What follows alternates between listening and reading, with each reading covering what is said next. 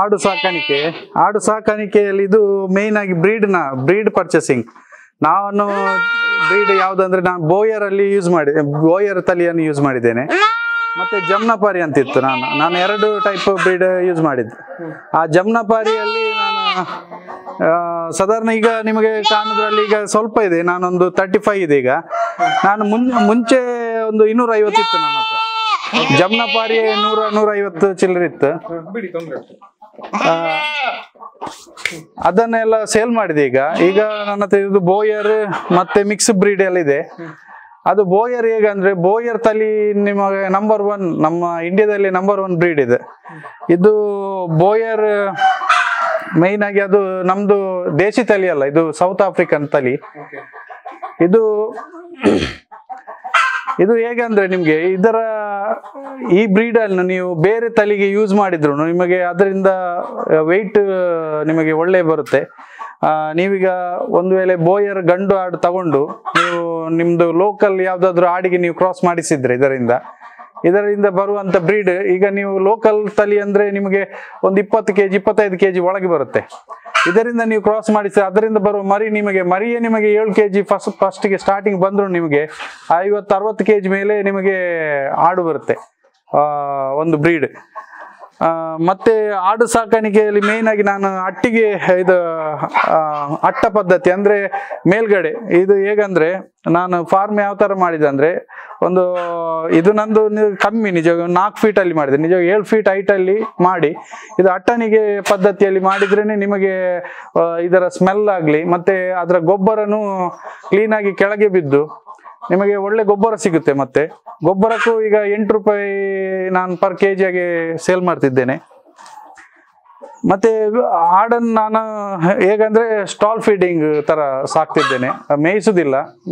ಯಾವಾಗಲೂ ಒಮ್ಮೊಮ್ಮೆ ಸಮ್ ಸನ್ ಬಾತ್ ಅಂತ ಮಾಡ್ತೇನೆ. ಅಂದ್ರೆ ಒಮ್ಮೆಲೆ ಹೊರಗೆ ಬಿಟ್ಟು ಒಂದು ಸರ್ಕ ಇದು ಮಾಡಿದ್ದೇನೆ ಬೌಂಡ್ರಿ ಆ ಬೌಂಡ್ರಿ ಒಳಗೇನೆ ನಾನು ಸನ್ ಬಾತ್ ಆಗಿ ಮಾಡ್ತೇನೆ. ಮತ್ತೆ ಈ ಗೋಟ್ ಗೋಟ್ ನಾವು ಜಾಸ್ತಿಯಾಗಿ ಬ್ರೀಡ್ ಪರ್ಪಸ್ಸಿಗೆ ಮಾತ್ರ ಮಾಂಸಕ್ಕಂತಲ್ಲ ಬ್ರೀಡ್ ಪರ್ಪಸ್ ನಾವು ನಮ್ದು ಬೆಂಗಳೂರಿಗೆ ನಾನು ಜಾಸ್ತಿಯಾಗಿ ಇದು ಸೇಲ್ ಮಾಡ್ತಿದ್ದೇನೆ. ಅಲ್ಲಿ ಬೇರೆ ಫಾರ್ಮಿನವರೆಲ್ಲ ಯೂಸ್ ತಗೊಳ್ತಾರೆ. ಮತ್ತೆ ಗೋಟು ಒಂದು ನಮಗೆ ಇಲ್ಲಿ ಕ್ಲೈಮೇಟಿಗೆ ಅಂದ್ರೆ ಕ್ಲೈಮೇಟ್ ಅಲ್ಲಿ ಮೇಯ್ನ್ ಆಗಿ ನಮಗೆ ಮಳೆಗಾಲ ಮತ್ತು ಚಳಿಗಾಲಕ್ಕೆ ಸ್ವಲ್ಪ ನಾವು ಇದರ ಬಗ್ಗೆ ಸ್ವಲ್ಪ ಕೇರ್ ತಗೊಳ್ಬೇಕಾಗ್ತದೆ. ಮಳೆ, ಇಲ್ಲಿ ನಮ್ಮಲ್ಲಿ ಜಾಸ್ತಿ ಮಳೆ ಇರುವುದರಿಂದ ಸ್ವಲ್ಪ ಅದಕ್ಕೆಲ್ಲ ರೋಗ ಬರುವ ಚಾನ್ಸಸ್ ಜಾಸ್ತಿ ಇರುತ್ತೆ. ಸ್ವಲ್ಪ ಚಳಿ ತರ ಆಗುತ್ತೆ. ಹಾಗಾಗಿ ಜಾಸ್ತಿಯಾಗಿ ವೆಟ್ ಅದಕ್ಕೆ ಜಾಸ್ತಿ ಒದ್ದೆ ಆಗದಾಗೆ ನೋಡ್ಕೊಳ್ಳೋದು ಮತ್ತೆ ಚಳಿ ಟೈಮ್ಗೆ ಚಳಿಗಾಲಿ ಬೀಸೋ ಹಾಗೆ ಆ ಥರ ಎಲ್ಲ ಇರೋದಾಗೆ ತರ್ಪಲ್ ಇಲ್ಲದ್ರೆ ಬೇರೆ ಏನಾದರೂ ಅಡ್ಡ ಇಟ್ಟು ಅದನ್ನು ಇದು ಮಾಡುದು. ಹಾಗೆ ಮರಿ ಬಂದ ತಕ್ಷಣ ಮರಿಗೆ ಸಹ ಹಾಗೇನೆ. ಮರಿ ಸಹ ಸ್ವಲ್ಪ ಚಳಿ ಟೈಮಿಗೆ ಸ್ವಲ್ಪ ಶಾಖ ಕೊಡಲೇಬೇಕಾಗ್ತದೆ. ಏನಾದರೂ ಲೈಟ್ ಬ್ರೂಡಿಂಗ್ ತರ ಮಾಡಿ ಮಾಡಬೇಕಾಗ್ತದೆ. ಮತ್ತೆ ಗೋ ಗೋಟಿಗೆ ಮೇವು ನಾವು ಮೇವು ಮೇಯ್ನ್ ಆಗಿ ನಾವು ಅದೇ ಸಿ ಫೋರ್ ಮತ್ತೆ ಸಂಪೂರ್ಣ ಅಂತ ತಳಿ ಯೂಸ್ ಮಾಡ್ತಿದ್ದೇನೆ. ಮತ್ತೆ ಹಿಂಡಿ ಹಾಕ್ತೇನೆ ನಾನು, ಬೆಳಿಗ್ಗೆ ಹಿಂಡಿ ಹಾಕ್ತೇನೆ ಅದಕ್ಕೆ. ಗೋಟಿದೆ ಬರ್ತದೆ ಒಂದು. ನಾವು ಕೈ ಹಿಂಡಿ ತರ ಮಾಡಿ ಕೊಡ್ತೇವೆ ಅದಕ್ಕೆ.